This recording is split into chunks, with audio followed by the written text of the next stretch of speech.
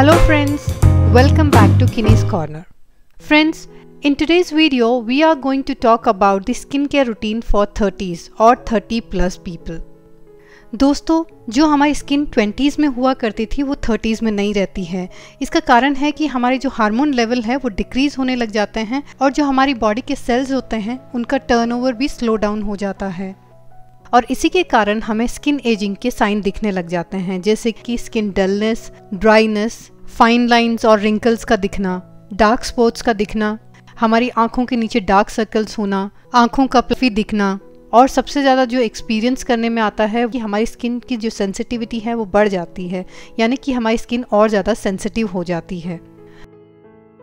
दोस्तों, आपको घबराने की ज़रूरत नहीं है। अगर आप थर्टीज़ में एंटर कर रहे हैं या ऑलरेडी थर्टीज़ में एंटर कर चुके हैं, अगर आप अपने स्किन केयर रूटीन को थोड़ा सा भी चेंज कर लें तो इन स्किन एजिंग साइंस को आप काफ़ी समय तक दूर रख सकते हैं। दोस्तों स्किन केयर एक्सपर्ट्स का कहना है कि अगर आप थर्टीज़ में एंटर कर चुके हैं तो इन पॉइंट्स को फॉलो करना ना भूलें। पहली चीज़ डोंट यूज़ वाइप्स बहुत सारे लोग अपने मेकअप को निकालने के लिए, अपने चेहरे को साफ़ करने के लिए फेस वाइप्स का इस्तेमाल करते हैं। और बहुत सारे जो वाइप्स होते हैं, उन वाइप्स के अंदर एल्कोहल होता है, जो कि आपकी स्किन को और ज़्यादा सेंसिटिव बनाता है और ड्राई करता है।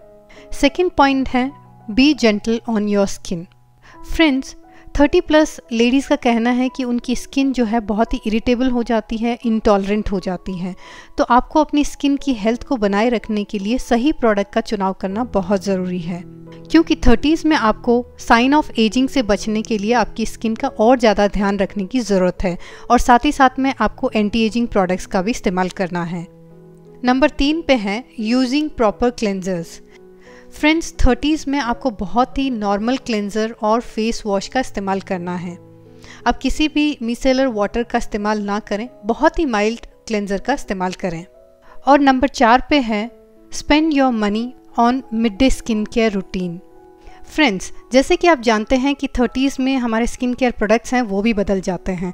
और हमें specially mid day skin care products पे ध्यान देना है, यानी कि आपके सिरम और एंटी एजिंग क्रीम पे। Instead of cleanser and moisturisers serums और एंटी एजिंग क्रीम्स जो हैं, वो थोड़ी एक्सपेंसिव होती हैं because of their active ingredients जो कि आपको एंटी एजिंग साइन से बचाती है।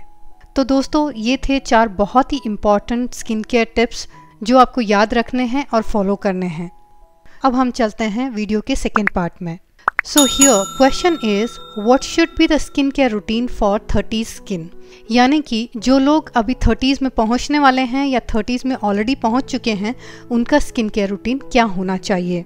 दोस्तों, हर एक की स्किन टाइप जो है वो अलग होती है और जो प्रोडक्ट्स मुझे सूट करते हैं, ज़रूरी नहीं है कि वो आपके कॉम्प्लेक्शन को भी सूट करें। लेकिन ये एक जनरल प्रैक्टिस है जो आप फॉलो कर सकते हो irrespective of your skin type तो दोस्तों, हमें अपने दिन की शुरुआत क्लेंजिंग से करनी है। हमें अपने चेहरे को दिन में दो बार धोना है और बहुत ही जेंटल फेस वॉश या क्लेंजर का इस्तेमाल करना है। दोस्तों, मैंने यहाँ पे कुछ फेस वॉश और क्लेंजर्स मेंशन किए हैं जो हर तरह की स्किन टाइप के लिए सूटेबल हैं और यहाँ पे मैंने जो भी प्रोडक्ट्स दिखाए हैं, उनकी सब की लिंक जो है वो डिस्क्रिप्शन बॉक्स में दी हुई हैं।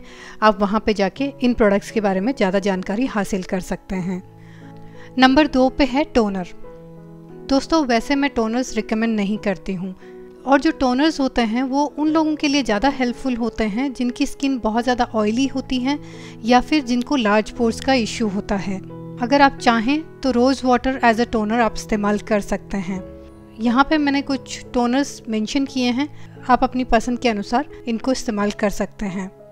नंबर तीन पे है सिरम मॉइस्चराइज़र्स जो होते हैं, वो आपकी स्किन को हाइड्रेट करते हैं, साथ ही साथ में एक प्रोटेक्टिंग लेयर का काम करते हैं। लेकिन आप चाहते हैं कि आपकी स्किन जो है वो अंदर से रिपेयर हो और साइंस ऑफ़ एजिंग्स को रोके तो इसके लिए आपको ऐसे प्रोडक्ट की ज़रूरत है जो आपकी स्किन के अंदर तक जा के आपकी स्किन को रिपेयर करे। और इसके लिए बेस्ट प्रोडक्ट है सिरम दोस्तों मार्केट में तरह तरह के सिरम्स अवेलेबल हैं। आपको इस टाइम पे हाइड्रेटिंग और एंटी एजिंग सिरम का इस्तेमाल करना है। सिरम्स जो होते हैं, वो थोड़े से एक्सपेंसिव साइड में होते हैं, पर अगर आपको अपनी स्किन को एजिंग होने से बचाना है तो इसके लिए आपको सिरम का इस्तेमाल करना ही चाहिए। यहाँ पे मैंने कुछ सिरम्स सजेस्ट किए हैं, जो हर तरह की स्किन टाइप के लिए सूटेबल हैं। आप अपने इंटरेस्ट के हिसाब से कोई भी सिरम इस्तेमाल कर सकते हैं। नंबर चार पे है मॉइस्चराइज़र दोस्तों, जब हम स्किन केयर प्रोडक्ट्स का इस्तेमाल करते हैं तो सबसे पहले हमें लाइट लिक्विड प्रोडक्ट है, उसको सबसे पहले लगाना है। यानी कि इसका क्रम इस तरह से होना चाहिए। सबसे पहले आप सिरम लगाएँ, फिर मॉइस्चराइज़र का इस्तेमाल करें और उसके बाद में एसपीएफ यानी कि सनस्क्रीन का इस्तेमाल करें। ऐसा करने से जो सबसे लिक्विड फार्मूला होता है, वो आपकी स्किन में अच्छे से पेनिट्रेट हो जाता है और उसकी ऊपर की जो लेयर है, वो आपकी स्किन को नरिश करती है और प्रोटेक्ट करती है। दोस्तों, अगर आपकी जो सनस्क्रीन है वो हाइड्रेटिंग है तो आप मॉइस्चराइज़र को स्किप कर सकते हैं। नेक्स्ट स्टेप है सनस्क्रीन दोस्तों, अगर आप अपने एजिंग प्रोसेस को डिले करना चाहते हैं तो आपकी कोई भी एज हो, आपको सनस्क्रीन का इस्तेमाल करना ही है। एसपीएफ का आप डेली इस्तेमाल करें। अगर आप घर के अंदर रह रहे हैं तो S P F twenty is more than enough पर अगर आप बाहर जा रहे हैं तो ब्रॉड स्पेक्ट्रम के सनस्क्रीन का ही इस्तेमाल करें। और दोस्तों, अगर आपको और ज़्यादा प्रोटेक्शन चाहिए तो आप फाउंडेशन का इस्तेमाल कर सकते हैं जिसके अंदर एस पी एफ़ हो। यहाँ पे मैं एक और ज़रूरी बात बताना चाहती हूँ कि आप चेहरे का ध्यान रखने के साथ साथ में अपनी गर्दन और हाथों का ध्यान रखना बिल्कुल भी ना भूलें। क्योंकि एजिंग साइन जो हैं, वो सबसे पहले आपकी नेक पे और हाथों पे दिखना शुरू होते हैं। अगला स्टेप है आई क्रीम दोस्तों, आप जैसे ही थर्टीज़ में एंटर कर जाते हैं, उसके बाद में आपको अपने अंडर आई स्किन का भी ध्यान रखना बहुत ज़रूरी है।